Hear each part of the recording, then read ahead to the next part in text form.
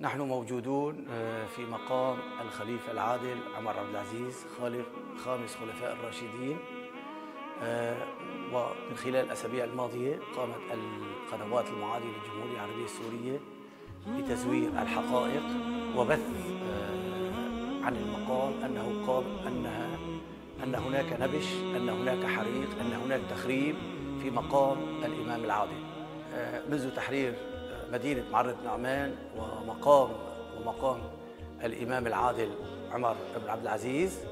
تبين أن العصابات المسلحة من خلال تواجدها في هذا المقام قامت بإهماله قامت آه، بالعبث بالحديقة التي حوله.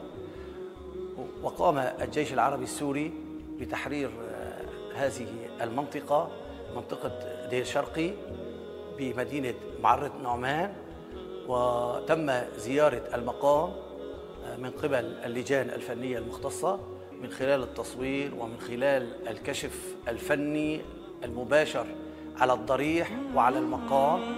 لم لم يتبين لنا ان أن هناك آه، حرق أو نبش أو تكسير لأي من الأضرحة الموجودة هنا.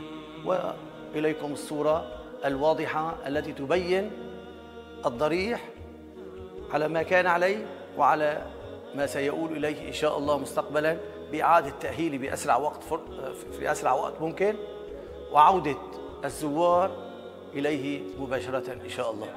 آه، نبشر المسلمين في كافة أنحاء المعمورة بأن آه، آه، الخ- الخليفة العادل عمر عبد العزيز خامس خلفاء الراشدين بأنه بأمان Kali makam ini dijadikan untuk saling memancing kemarahan umat Islam, baik dari pihak pemberontak ataupun pemerintah.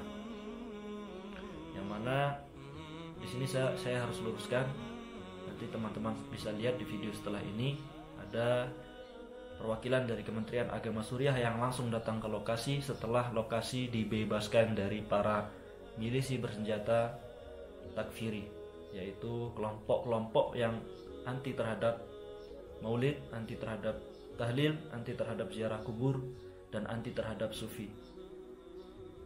Dan sekali lagi saya tekankan silahkan hapus untuk yang sudah menebarkan kemarahan umat Islam melalui postingan yang tidak jelas kebenarannya.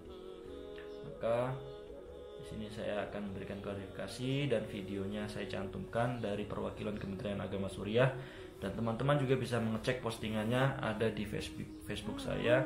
Linknya saya sertakan di deskripsi ini. Dan sekali lagi saya mohon untuk menghapus apa yang sudah beredar atas keresahan umat Islam dan memberikan klarifikasi yang terbaru dari Suriah.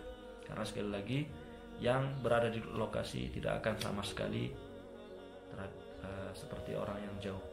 Jadi mohon pada seluruh umat Islam untuk tetap menjaga dan tetap mencari informasi klarifikasi yang benar terhadap apa yang sudah menjadi keresahan kita bersama. Dan saya di sini eh, berharap video ini bermanfaat dan rekan-rekan semua dari berbagai macam latar belakangnya hingga rekan-rekan salafi mas eh, salafi sendiri saya mohon untuk menarik video atau postingan tersebut karena saya mengetahui video tersebut viral diviralkan oleh salah satu aktivis yang mengumpulkan donasi untuk rakyat Suriah yang mana kita juga tidak mengetahui donasi tersebut sampai kepada rakyat Suriah atau malah justru kebalikannya kita tidak mau sudah itu saja mungkin dari saya cukup sekian. Saya berada di Damaskus Suriah mohon doanya untuk kelancaran saya di sini dan mohon doakan untuk rakyat Suriah agar bisa kembali hidup normal dan diangkatkan segala kesulitannya serta menghadapi corona ini dan juga sanksi-sanksi berat baik ekonomi, politik internasional dari Amerika Barat dan sekutunya terus Israel. Mungkin cukup sekian dari saya. Billahi taufiq wal hidayah. Wassalamualaikum warahmatullahi wabarakatuh. Mohon maaf jika ada kata yang kurang pas dan khilaf baik yang disengaja ataupun tidak disengaja. Sekali lagi terima kasih. Wassalamualaikum warahmatullahi wabarakatuh.